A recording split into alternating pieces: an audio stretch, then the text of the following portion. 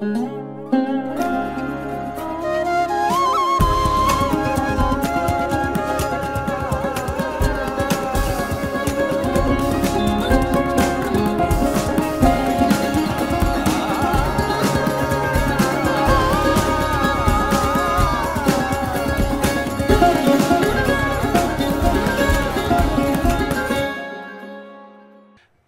forgive us if we gossip away with each other. We, we did a podcast together after Jaipur that was meant to last one hour and went on for three and a half, I think, in the end, provided almost a whole season.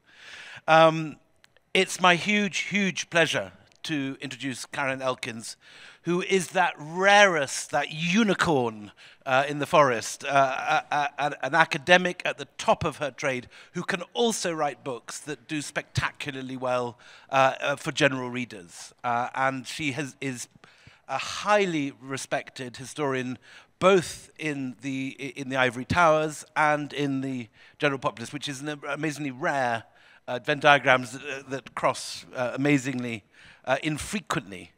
Um, her own story of her research and her dogged persistence in search of the truth uh, is apparently going to be made into a movie. In fact, it's going to be a. Uh, it's so extraordinary a story that uh, Hollywood has bought the rights to it. Um, in her first uh, great book, which won the Pulitzer Prize uh, on the Mau Mau and the British, um, the harsh British uh, measures of torture and mass internment, uh, which they used to suppress this uh, imperial uprising, particularly by the Kikuyu tribe. Um, Caroline, unable to find documents uh, relating to it, official documents, relied quite heavily on oral testimonies, which was then criticized by many people uh, afterwards.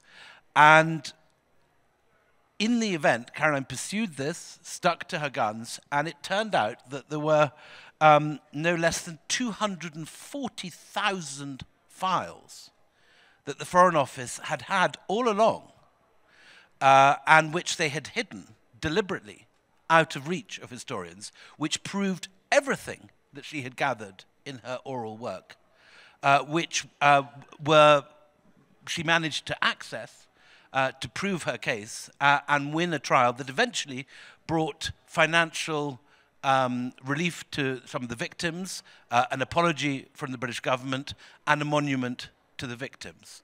Uh, it's a very, very rare case uh, of a historian pursuing, she deserves every bit of that clapping, pursuing um, th their work in the face of um, extreme threats and uh, a, long period of her life suffering anxiety and uh, uh, legal threats and so on.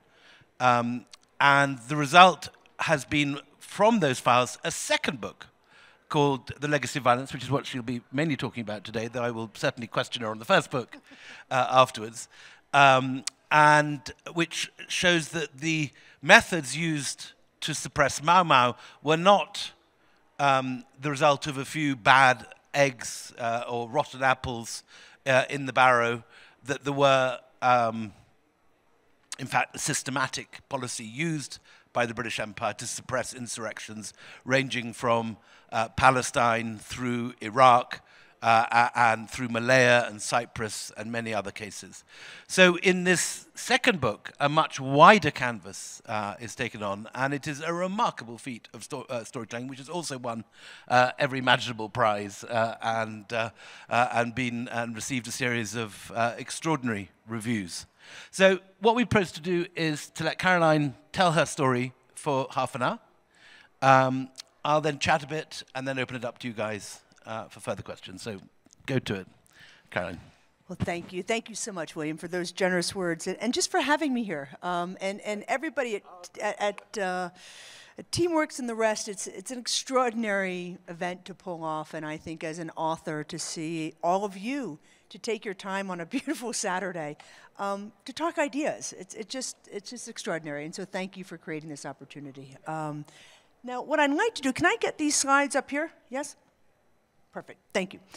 So what I'd like to do is, is talk to you a little bit about the, which William sort of touched on, the, the inspiration for this book.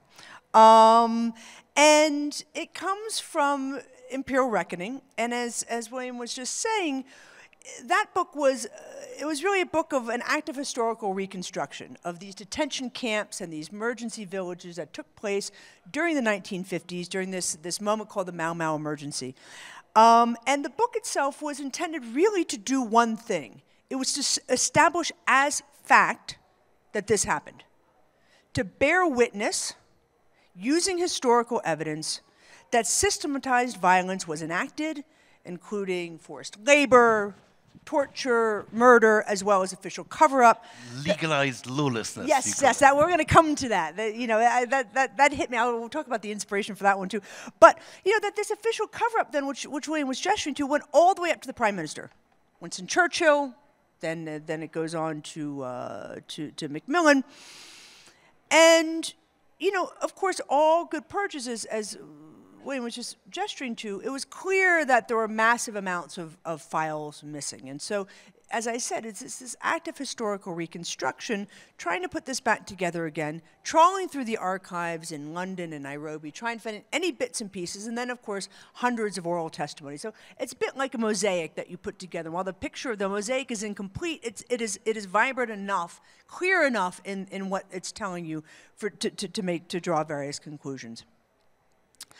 But um, there are many unanswered questions in this book. As I said, it had its limitations. It was a book that was meant to bear witness. And trying to understand why this was happening, the how and why this kind of violence was taking place. And at the same time, and I'll sort of give us a sense of the map here, you know, it was said at the time um, by historians and certainly by politicians and some in the media that Kenya was an exceptional case, right? To an otherwise exceptional British Empire. that um, exceptional not only because its size and scope, this just gives you a sense, right, to orient ourselves. I love maps, they orient us, right? You know, where, you know, 25% of the world's landmass, give or take, approximately 700 million subjects. Um, it's the largest empire the world has ever known. Um, but it's also considered exceptional by some because of its liberal imperialism, which is based upon um, this notion, of course, liberalism being taken to empire with its ideas of reform. And it's, in com common parlance, often known as a civilizing mission, with you know sort of this idea that Britain's colonial ideology was to transform these so-called native populations into modern citizens. And Britain, of course, did this with the minimum, the exceptionalism, the minimum use of force, and instead benevolent policies, education, healthcare, infrastructure, all these things. And it made Britain different from all other European colonizers, particularly the wretched French, the bête noire of all things British. Okay. But I had my doubts, right? And to give you a sense, I knew from my own work that on Kenya, that in the archives, I saw these different figures sort of coming into Kenya and then going out of Kenya. And we knew at the time, again, to give you a sense, here's our map. Um, if we take, many of them are coming from the UK. After World War II, the first major state of emergency, right, and there are over 30 in the post-war period, is in Palestine, and then we go on to Malaya, then to Kenya, then to Cyprus, these are the big ones Aden, Northern Ireland. And then, of course, at Malaya, there's another one where the British are actually going and sending personnel to Washington where they're advising various administrations on counterinsurgency, and that's why Strategic Hamlet, for example, in Vietnam, looks very similar to what's going on in Malaya and Kenya. Okay, so what I intended to do when I got all finished was to write a book about this post World War II, how all this is going on. But as things happen, um, something intervenes along the way. And as I'm starting out on this project, um, five elderly Kikuyu claimants from Kenya's Central Highlands um, sue Her Majesty's government, filing in 2009 um, for systematized violence committed in Kenya's detention camps and emergency villages. And they filed a suit in London's High Court. It's the Foreign and Commonwealth Office that is the named defendant. And they're using my book as the evidentiary basis for the case. and we can talk about in the Q&A, I end up becoming expert witness for the claimants. Um, and I always like to think at the time, I was like, oh, I watch, I, I love law programs. I watch lots of Law and Order. I know what to do. I had no idea what I was getting myself into. Um, and in the course of the case, about partway through, the Foreign and Commonwealth Office makes a stunning announcement in court, which rarely happens. It happens in law and order, but it doesn't happen in real life. When they call this emergency hearing in the foreign and Com- in the in the in the High Court, and the Foreign and Commonwealth Office discloses that they've just discovered 300 boxes of previously undisclosed files hidden in the fourth floor subterranean in Hanslope Park. Yes. Was, was that due to a Freedom of Information Act, or, or you thought these? Well, we, you know, we knew we had a real sense that I certainly did in the first book. You know, you could tell just by excavating the archives. Entire departments were gone. The police department gone. Ministry of Internal Security and Defense gone. Like there's just nothing. Um, and we kept asking. One of the great, you know, one of the many important elements of this particular case is we had now the power of the court behind us, demanding from the government files. My experience with this case is to know without that, you're not getting them. and even with it, you're only going to get part of them. And so we kept asking, kept asking, kept asking. Finally, there is actually a, The Foreign Office was in danger of itself being contempt of court. Precisely. And you know, William, that is an enormously important question. The $64,000 question is why didn't they get rid of these bio boxes? Right? They've been, they, they were packed up and spirited away at the time of decolonization. They also found next to them, which is going to be important for our, this, this book, um, 8,800 files similarly packed up and spirited away at the time of decolonization um, and brought back to, uh, back to the UK, held under lock and key. And so the question becomes why disclose? There's a lot of back and forth. The claimant's attorneys at Leigh Day felt very strongly that the legal representation for the Foreign and Commonwealth Office strenuously, most likely we don't know this, urged them, you've got to disclose these files. Because if you get caught with this, everybody is professionally in, in really deep water. So it was two years, though, two years into the case. Took them two So years. Interesting. So these guys would not be personally liable if they produced evidence showing torture, killings, and so on. But if they hid it, they could lose their jobs. They can lose their jobs. Yeah. So they are defending the colonial office of yesteryear. So there's a political issue, but for those on the ground, David Chaplin, who is the head legal uh, mind in the, in, the, in the Foreign and Commonwealth Office, the QCs, Robert Jay, and the, uh, and the great Guy Mansfield. I mean, these are towering figures in the UK, right? And so they disclose. And we can sort of chat about that. We can have, we, which we did. We had lots and lots of fun talking about this uh, recently. But for the purposes of this current book that I'm trying to work on, meanwhile, um, and it becomes clear to me, and I begin excavating, and then what happens is the British government uploads onto a searchable, searchable database um, the files that are found and that they deem to be relevant to the case. So the defendant actually had the right in this instance to deem what was relevant in the case. Anyway, I had a team of Harvard graduate students working with me. We excavate them. Um, it becomes clear there's something called Operation Legacy, and the extent of the document destruction is enormous that we find out. So we get a little bit of it, but what we come to determine, for the very first time in really the history of studying empire, did we have the documents documenting the document destruction. And in the Kenyan case, I estimate about three and a half tons of files had been burned or dumped into the Indian Ocean at the time of decolonization. That's a lot of evidence, a lot of evidence. So, I'm trying to write a big book now about the end of the British Empire and violence. And if this is the case in Kenya, one can reasonably surmise this is going on in other locations. So, so what do you do, right? Well, the first thing you start doing is you start thinking laterally. Like eh, now, we're gonna, I want to talk to you a little bit about evidence and how do I sort of get at this how and why question we see this violence playing out. Well, one of the first things that you do is you expand your evidentiary toolkit widely. So I'm in 13, you know, 14 different locations. These are sort of some of the main ones. private archives, in particular the Haganah Archive in Tel Aviv, the EOKA Archive in, in, in Cyprus, fabulous oral records collections in Singapore. My children have seen the world. They dreaded every minute of being dragged into the archives and now thinks it's, think it's kind of cool that they got to do this. So they're 21 and 23, so they, there's a new, there's a new uh, definition of coolness. But the other thing that you do is you move your time frame. This book, which you can see is rather weighty, um, was supposed to be just about the era after the Second World War, maybe the introductory chapter about the pre World War II period. Instead, about half the book now is about the pre World War II period.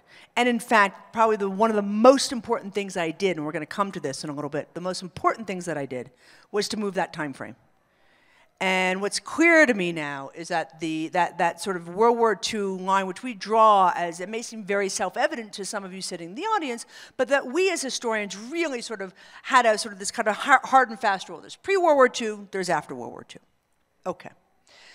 So what did I find? Well, in some ways, the Legacy of Violence, the history of the British Empire, the title is a little bit of a giveaway, um, but what I'm particularly interested in this book is I'm interested in the interplay between liberalism, the law, violence, and historical claim making, and the ways in which state directed violence in the empire, and I want to focus on that state directed violence, shaped, have shaped large, large, parts of our contemporary world.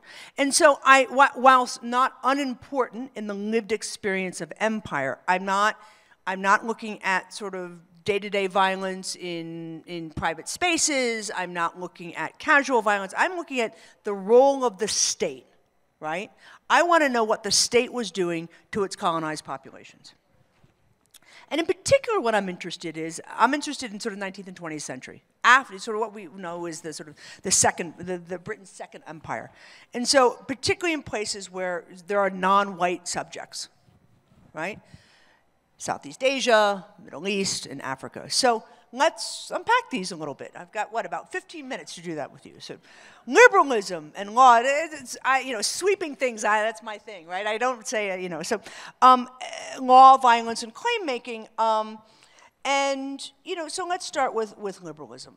Well, in the empire, it's called liberal imperialism. And beginning in the, the 19th century, it was framed around ideas of developmentalism, as you've written in, in, in your work, right? And the so-called natives of empire were likened to, quote unquote, often you see the term children.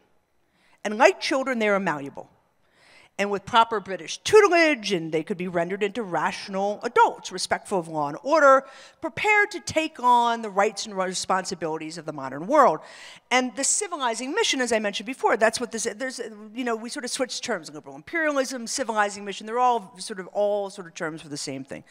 Would, of course, take decades, maybe even centuries in some places, to carry out. And in the meantime, as I'm sure you've heard before, Britain would shoulder this responsibility. This burden, the famous term, you guys tell me, Rudyard Kipling, it is called the white man's burden. Exactly. But, and I'll sort of read a little bit from the book itself, but this is part of our story. If Britain's civilizing mission was reformist in its claims, it was brutal nonetheless. And violence was not just the British Empire's midwife, it was endemic to the structures and systems of British rule. It was not just an occasional means to liberal, imperialism's, liberal imperialism's end, it was a means and end for as long as the British Empire remained alive. And without it, Britain could not have maintained its sovereign claims to the colonies. Indeed, how could it be otherwise? Much as Hobbes has suggested, and sociologist Max Weber explained in Politics as a Vocation, that a monopoly of the means of legitimate violence is a necessary condition to a state's existence, right? So the British state is laying claim to legitimate violence. Everything else, so if you decide you're going to protest against labor, if you're going to rebel against the, the claims that British is, Britain is making about your sovereignty, that's illegitimate violence. And the state is going to come down on you, right? And, you know, when we see this, anytime there is an existential threat to the state, they're going to deploy what is legally enabled violence, something I'm going to come back to. But importantly for our story, violence was intimately connected to this civilizing mission, this developmentalism, right?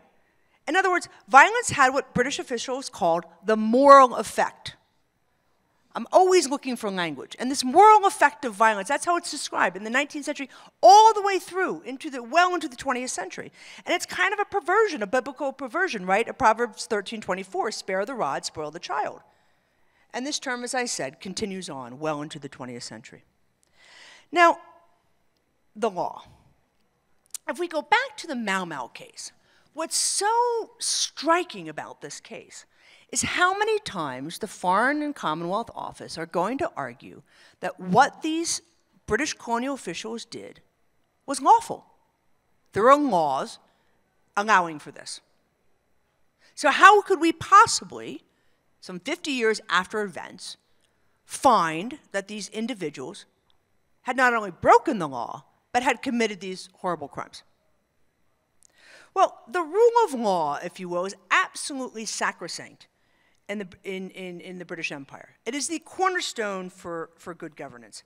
And again, I'd like to sort of, because you gestured to it a moment ago, it, it's something that, sort of a term that I use throughout the book. And I say that time and again, throughout the 19th and 20th centuries, Ordinary codes and regulations proved insufficient in quelling empire's rebellions and, and Britain's spectral fears.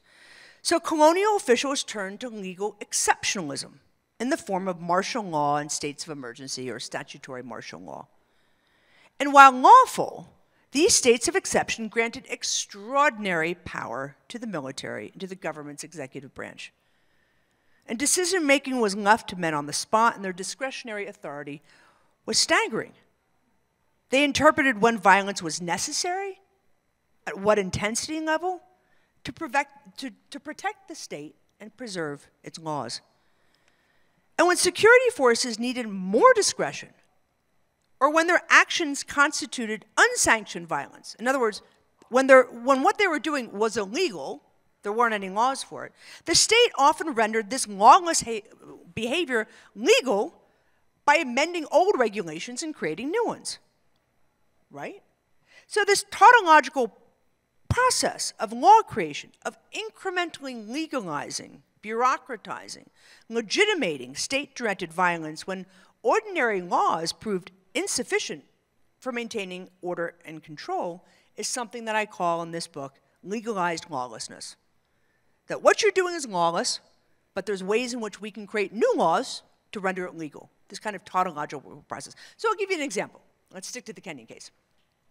In the case of Kenya, there's something called um, the dilution technique, which is systematized violence. It's practiced in, uh, beginning in 1957. And what they did is they took small batches of detainees out of sort of large holding camps and brought them to smaller detention camps.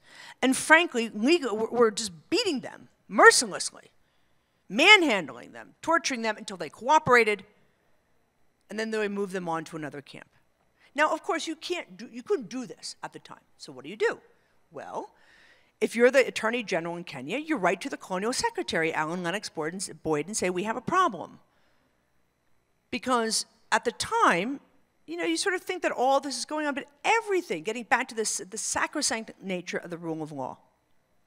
At the time, they had to make sure that this was legal, that these colonial officers could not be uh, tried for anything. And they create new laws, something called compelling force, punitive force. So it gives you a sense, ex post facto, the, post facto, they create this, and then of course they can go on their way of beating the, the detainees because there are laws protecting them. Okay. So, let's turn to the violence. What's clear is that the colonial violence in all these different colonies, beginning in the 19th and the 20th century, are not a series of one offs. Rather, it's systematized, and as we move within and between colonies, what's really stri was striking to me was the degree to which all these things and these practices and even these individuals are, are similar.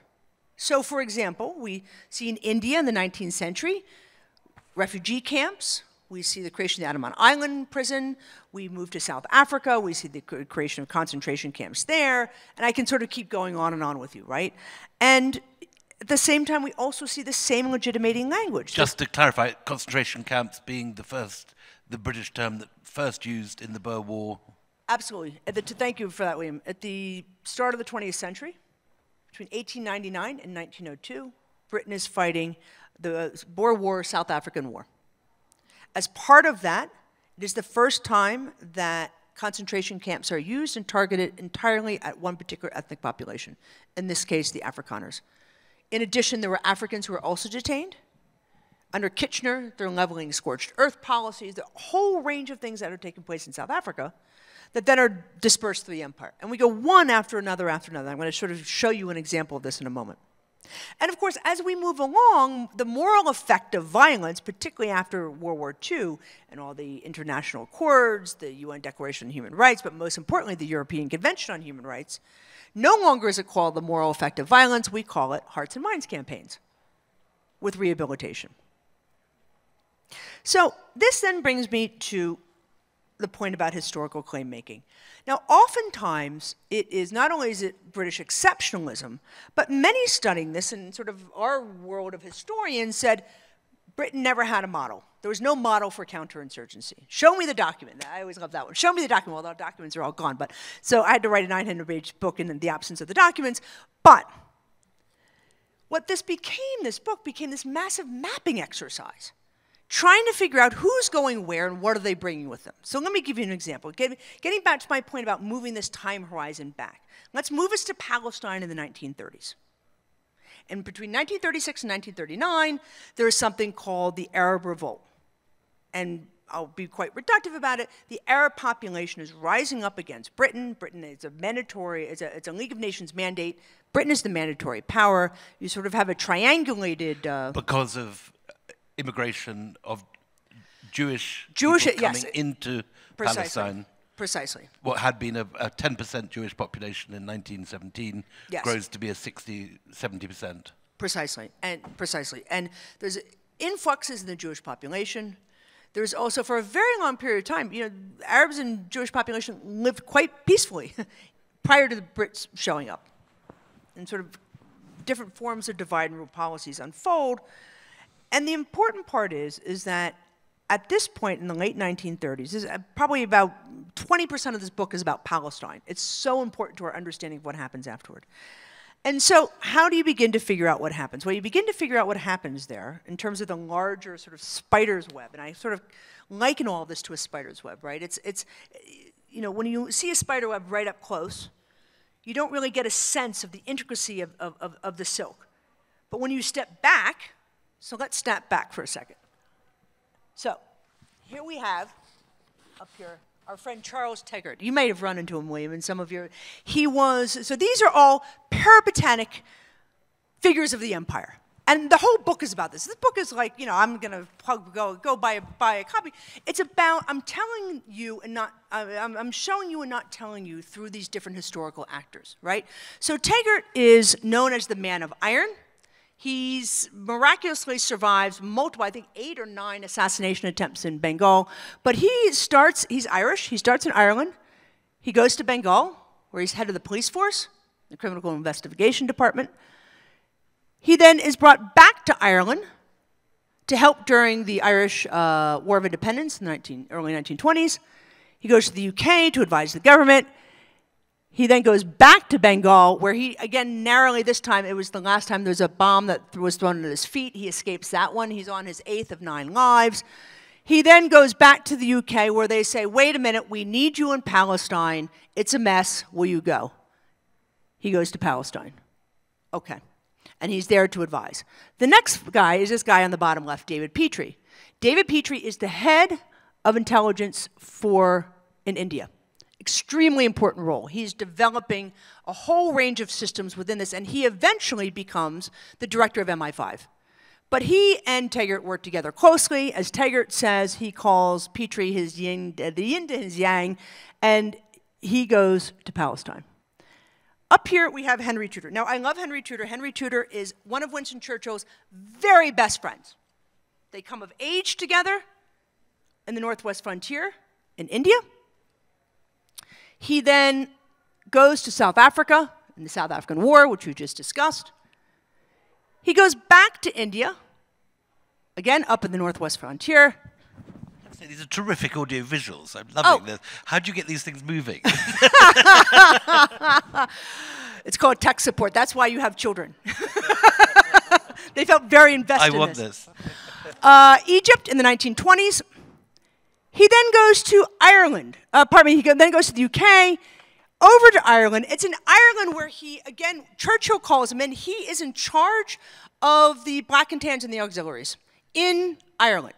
He come he becomes the um, the IRA is known for chasing people throughout the empire um, to assassinate them.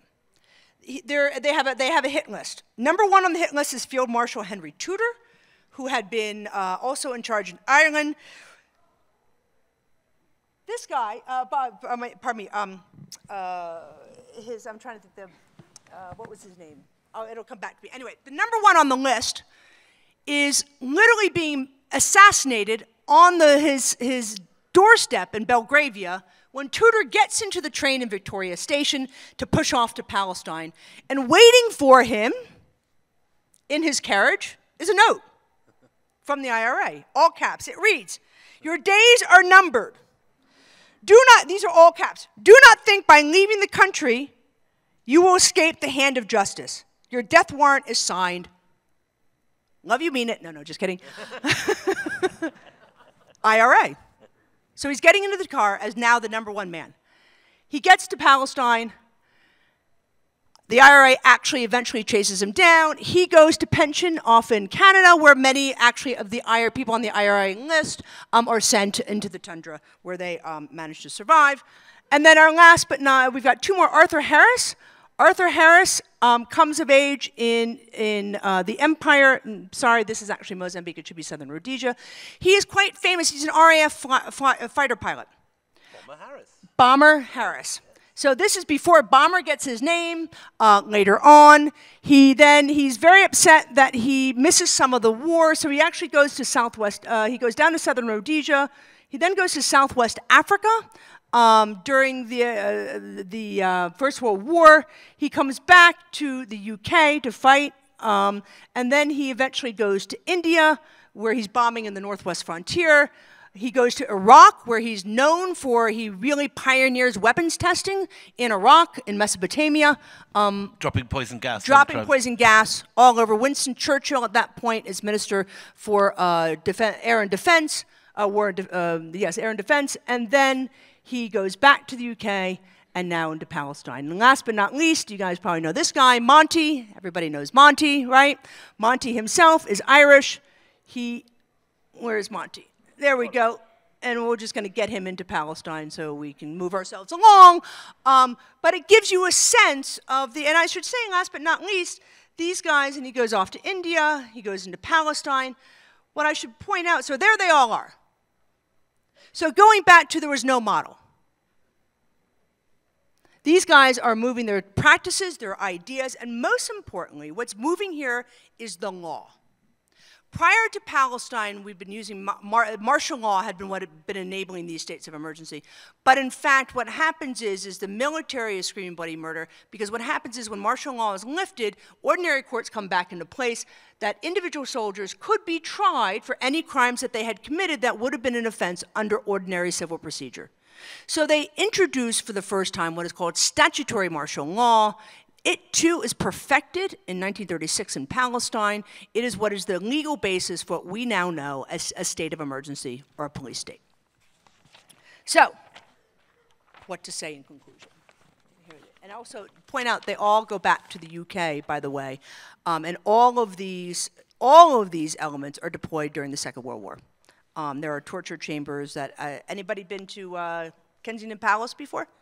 Raise your hand. Yeah, you know those posh, those posh houses behind Kensington Palace, um, you know, which are now the yeah. You've got to be a billionaire in order to live there. Those were where the secret torture chambers were kept um, during the Second World War. Um, so, what can we say in conclusion? Just a couple things. You know, I think the, and I'm going to uh, wrap us up, but it, it becomes all of these laws, first of all, all of these nations are born out of cauldrons of violence. There's no question. And at the same time, the British government, in this sort of exceptionalist, it, it lives in a perpetual state of exception. The European Convention on Human Rights, signed in 51, extended the empire in 53. Britain derogated 30 times more, more than the combined total of the other 45 members of the Council of Europe in the first 60 years of the convention's application.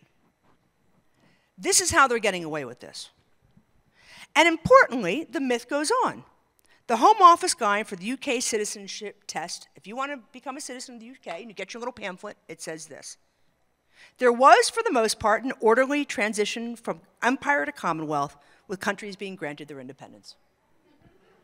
And I'll end there. Thank you.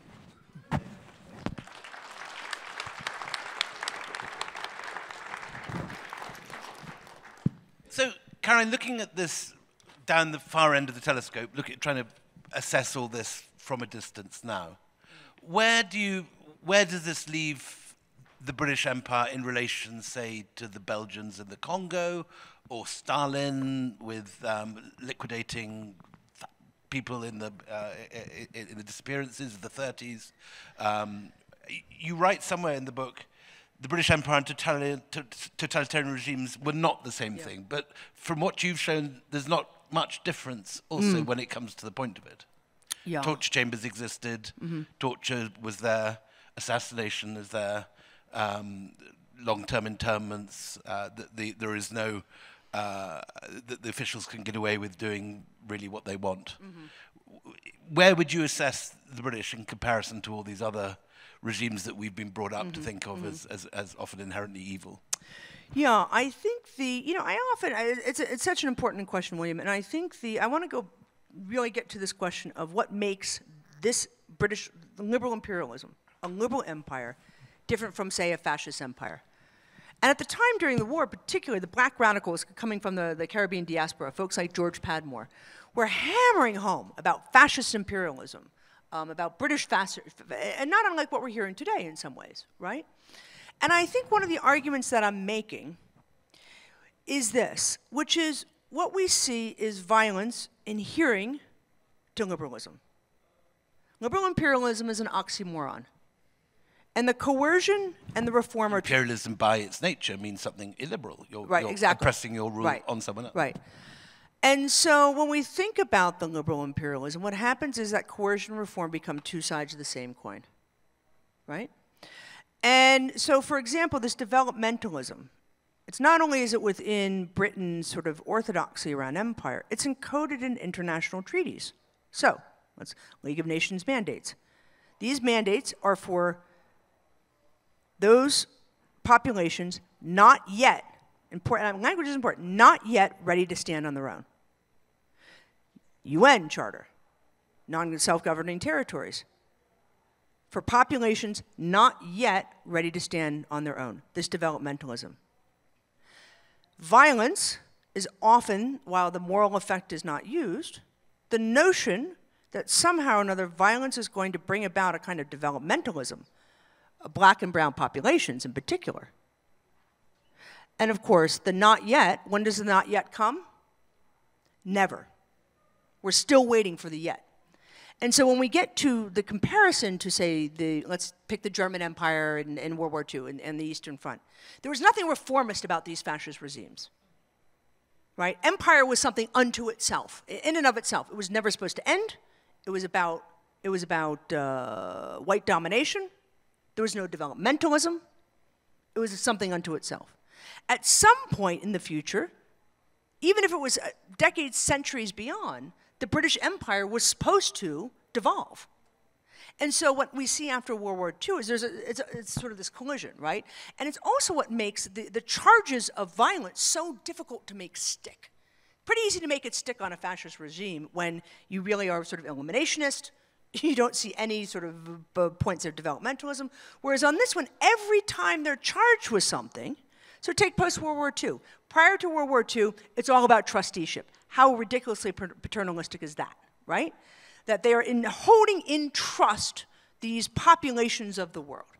And then they decide. Literally putting into legal language the idea of, of, of a child Uh, or, Exactly. uh, it's, it's, Exactly. it's a, a, a ward looking after Exactly. a. right, yeah. right. So there's all kinds of kvetching going on. Um, and by the way, remember, this transcends political party, right? It's the Attlee government, Labor, post World War II. Labor, who is leveling some of the, some of the most atrocious policies, first in Palestine and then in Malaya. And they say, wait a minute, wait a minute, can't use trusteeship anymore. Let's call it partnership. So they call it partnership. And of course, there's a junior partner and a senior partner in all of this. Like the moral effect. The moral effect doesn't work anymore. Not, not, it's not, so it becomes rehabilitation. And occasionally, you know, and there are ways in which they're able to consistently explain away anything that happens in empire as a tragic one off. Look at what we're doing. We're civilizing the world, et cetera, et cetera, et cetera. So, uh, legacy of violence. What is the legacy of the legacy of violence? you talked about um, the British in, Mal- in, Mal- in Malaya teaching counterinsurgency techniques to the, the US in, in Vietnam. We've seen the same legal statutes used in Palestine to be used now in occupied Palestine by the Israelis. The same sort of uh, uh, ability to arrest and, and, and, and hold without trial go back to British precedents. Where do you see these laws still being used today? Modi's government, everything, you know, all that we see going on there. Um, I think, it, it, it, frankly, it's de rigueur in many of these post-colonial nations, the, these laws. But I also think the, the notion of, of, of what, of permi- permissible norms, the notion that um, nations that are, and we obviously, 900 page book, not a lot of time to get into some of this, born of these cauldrons of violence where this violence is also an epiphenomena of these divide and rule policies, right? So you see populations after populations after populations. In the Kenyan case, where you see there's absolutely white and black perpetrators of colonial crimes. Um, and yet, it's the British government that says, okay, you're either with us or against us. If you don't arm yourself, become a member of the Home Guard, you're going to a detention camp. So to this day, the question becomes, and when I was doing my research in Kenya and I was interviewing hundreds of, of, of detainees, getting back to sort of legacy, on the most local of levels, right? When Eleanor Roosevelt is writing about the Universal uh, Declaration of Human Rights, and she's the, the chairwoman for this, right? And she says, actually, where human rights matter the most, William, is in small places close to home. So, what happens? What's the legacy of this kind of violence taking place, intimate violence? Detention camps, emergency villages, local villagers being co opted into the colonial regime of security forces. And then, in many instances, Kenya would be one, but it's not the only one. Malaya would be another example. Aden, certainly, example, where when decolonization happens, no one's allowed to talk about this. Ever. Ever in part because Who's, who's stopping them? governments, in part because the post-colonial Colonial regimes, government.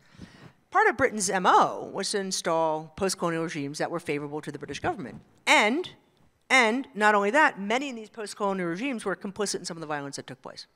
So there's no benefit whatsoever to having this. And I, I, I'm making some very broad stroke generalizations right now.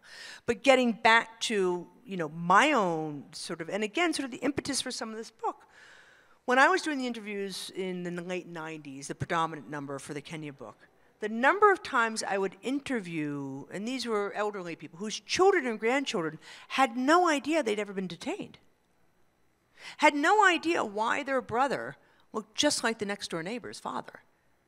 Right? Why? I mean, this kind of intercommunal violence that had taken place. And obviously, when we think about the context of India, more is, frankly, known about that in, within the context of India than it was in some of these other locations. And so I think for us as, as historians, certainly, and we're not walking this journey alone. Anthropologists, you know, uh, you know, people writing novels, the rest. I think really, um, to me, I think some of this is providing the evidence, if you will, for for different countries to come to terms with their own histories. And I think in that sense, um, I hope that this book is some contribution to that. Thank you Very much.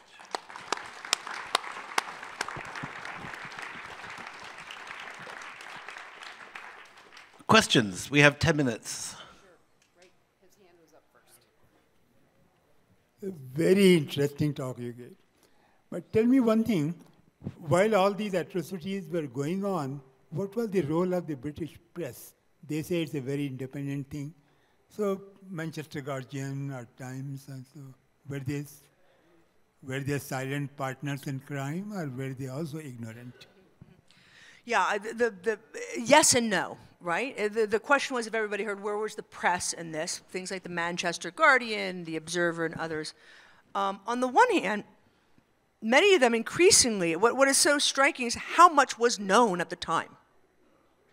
And the way in which the reception at home, a, question, a combination of um, bellicose imperialists, uh, complacency was its own scourge, disavow. Remember, Britons are, are uh, rationing still, right, right through the, the mid 1950s.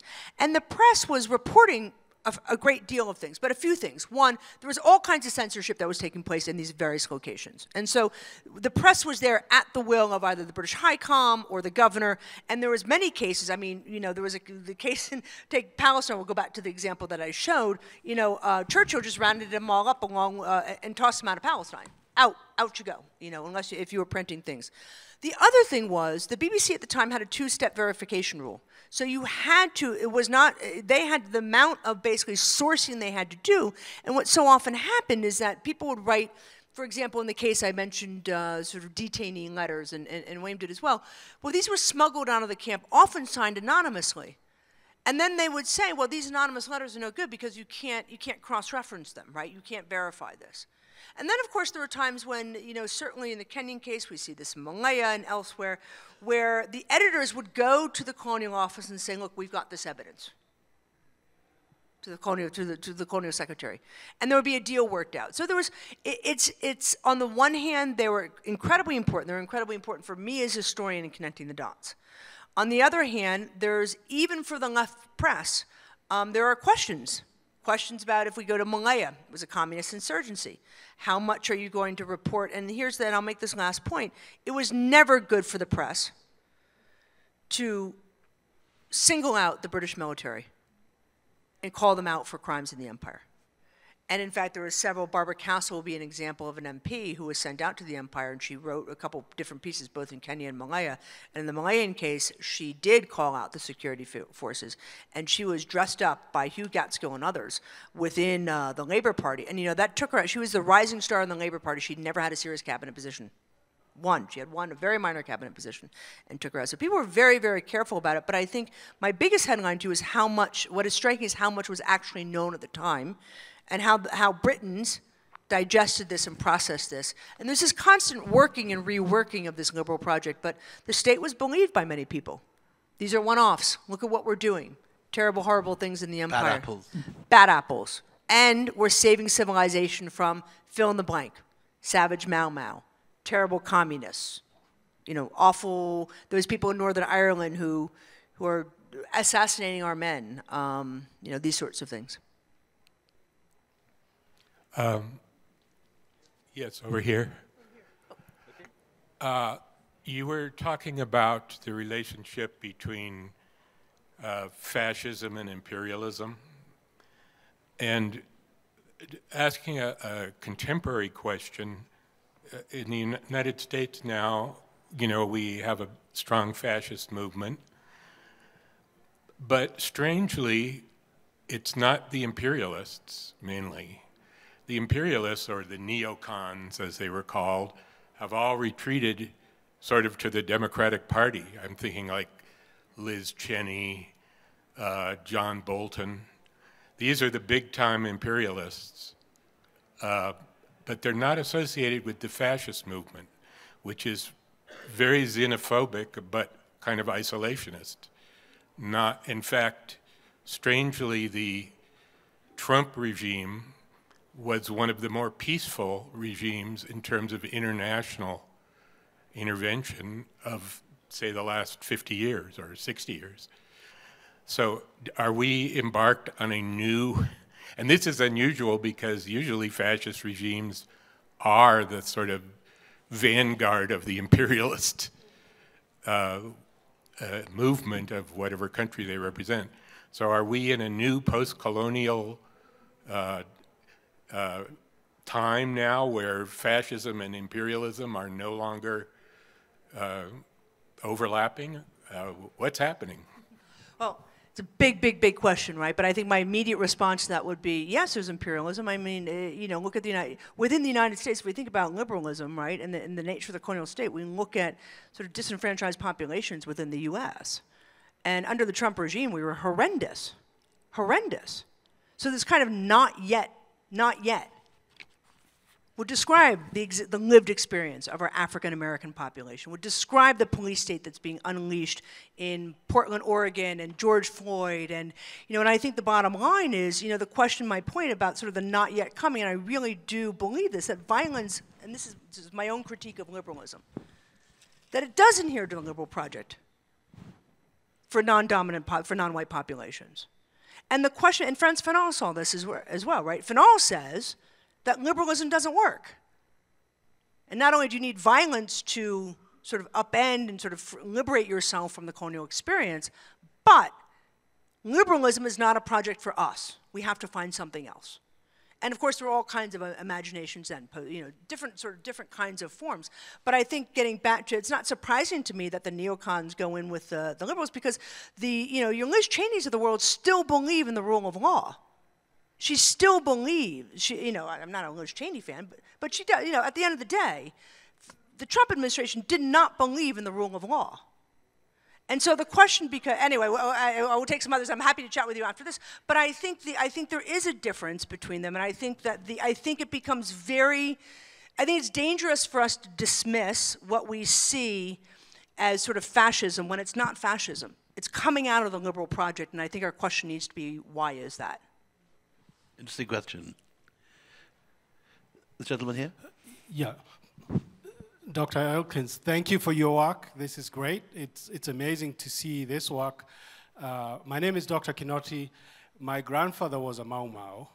Uh, was, I grew up hearing the stories. He was captured in 1953, was incarcerated uh, in Athi River, and all the stories you tell in the Imperial Reckoning, and suffered for almost 10 years, was released, and it's very interesting that the government that came after that really did not recognize the Mau Mau and went on to whitewash that history so that as I'm growing up in the 1970s, I'm hearing these stories from my grandfather about how he suffered and how many people suffered to try and uh, kick out the, the British and the colonialists and all the violence, but not a word in my school textbooks. Hmm. There wasn't anything. So I go through all the way, do history, study history even in A levels, which is uh, high school. I never heard a word of that. Mm. The Mau Mau were referred to as a ragtag army that was against the British, and they did not really do much.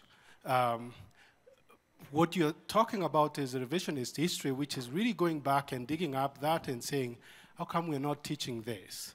And we're seeing that happening in the US as well, where history is questioned and right now is not.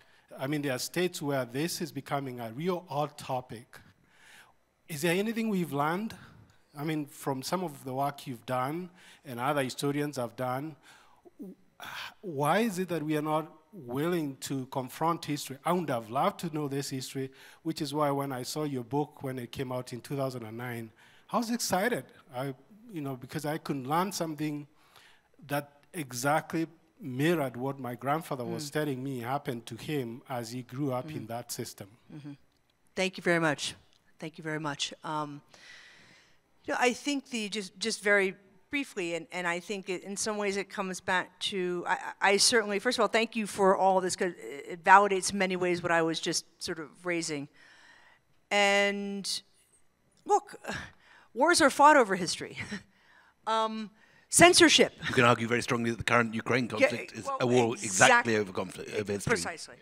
You know, um, the nature of getting back to the gentleman's first question about the role of the press and the way in which, you know, you know, the how it was dealt with at the time. And in fact, we were chatting beforehand, the, you know, about in the 19 uh, 40s during the war, the Ministry of Information co-opted historians, all at All Souls College at Oxford, to sort of craft a history of the empire that was then packaged and sold during the war, and they had everything little roving vans and teacher packets and all the rest of it. It was, you know, it was mostly meant for the Americans, and the Americans didn't want to buy any of the books, but the, the Brits consumed them, you know, rapaciously.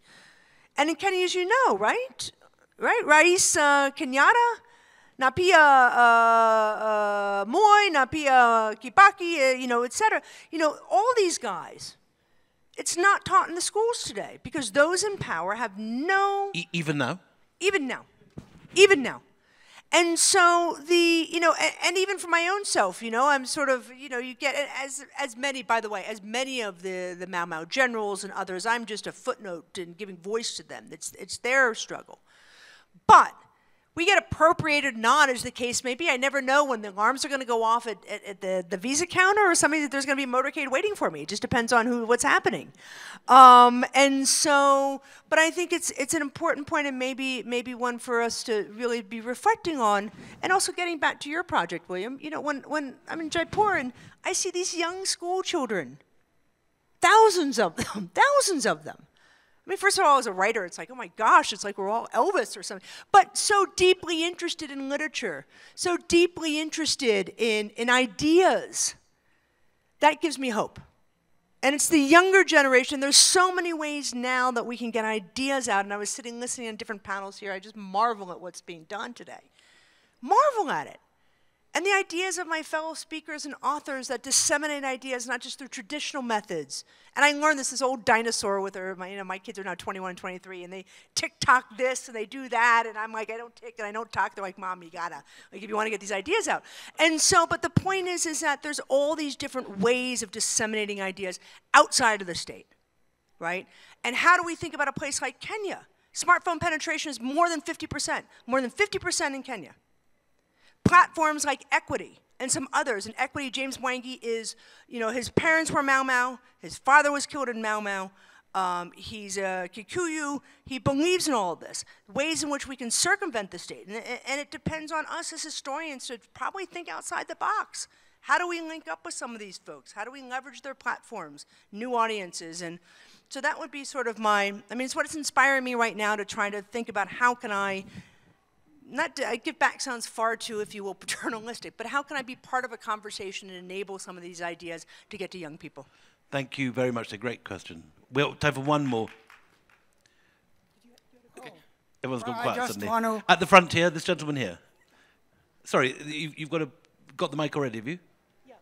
So we'll have two okay. questions, but I quick ones. I just want to ask, uh, to me, the, the, the ending of the British Empire, the way it happened last century, is actually quite good because to uh, dis disassemble an empire of that uh, uh, uh, magnitude is, should take hundreds of years. And they, they realized after the Second World War that this is what they have to do in the next few decades and with, with a, lot, a lot of problems and violence, it is still somewhat of a miraculous uh, phenomenon in world history. After so all, it took four or five hundred years. To apparently, take, apparently, to somewhere the in the world Empire. celebrates independence from Britain every six days. it's the most popular festival in the world. I just want to say that the more important thing what Lloyd George who was the prime minister during the First World War, who in my book is a war criminal, did in Europe how they arranged the peace that basically arranged for another world war. The way they, they had no and they had no idea about the world. You know, just like Wilson thought he was the uh, smartest person, uh, man in the world, went over Europe, he had no idea, you know, about the world. So, Thank you, sir. Okay. We, got, we promised this guy in front the last word, so quickly, last. Yeah. Um, in about 1959, 1960, I came across a manual in my father's library. My father caught me looking at it and made me read it and it was a heavily illustrated book on the Mau Mau Rebellion. And uh, I wish I hadn't read it, but um, uh, it, it, turned out to be a what looked like an instruction manual published by either the CIA or the U.S. Army. A lot of illustrations, um, and I got the impression at the time that it was a, a, history of how the British got out of Kenya. That is, they weren't trying to justify uh, paternalism or the state or the laws. They were just trying to get the hell out. And I think the same thing, there was a, a turning point, same thing happened in India, where I don't know when exactly it happened, but they weren't interested anymore in staying in India, but they were trying to get the hell out in a way to me, that oldest, wouldn't be like what happened in Afghanistan, where it was just panic. They were trying to do it in an orderly manner, and that kind of justified quite some of the. An interesting comparison between the British leaving India and the French leaving Algeria. The British, since the time, because of the American Revolution, and because Cornwallis, who, who had to hand over and sign the peace uh, with, uh, with Washington, he's then recruited by the East India Company and goes to India. His first law that he makes when he arrives in India is that, the, that no British citizens should be allowed to settle in India because he identified the settler population who had risen up against the British in America as the potential problem, not the Indians. They would, he thought, would take longer to get their stuff together.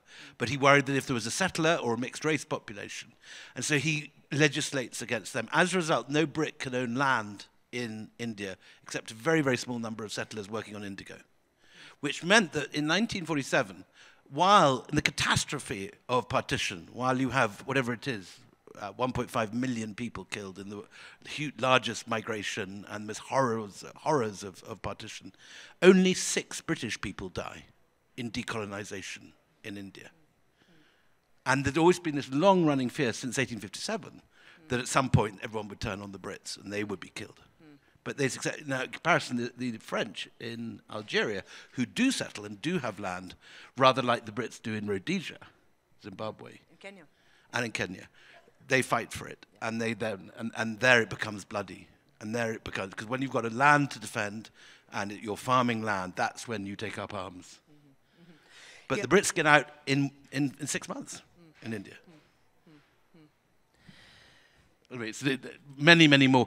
If you have got any money in your in your accounts, go now and buy Legacy of Violence and and Professor Elkins' other books if you are a cheapskate and, and uh, not going to do that, at least download the brilliant performance on Empire Pod, uh, which, uh, which Caroline performs her entire uh, Mau Mau. Uh, wonderful, wonderful story. So, anyway, please, a huge round of applause for the brilliant Professor Elkins.